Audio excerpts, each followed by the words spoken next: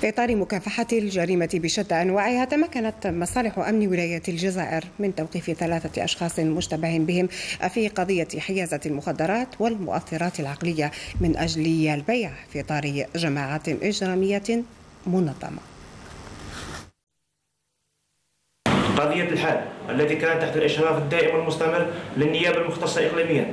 تمكنت تمكنت خلالها عناصر الفرقة من حجز 37.5 كيلوغرام هندي 347 قرص من المخدرات الصلبة سبع هواتف نقالة مركبة سياحية.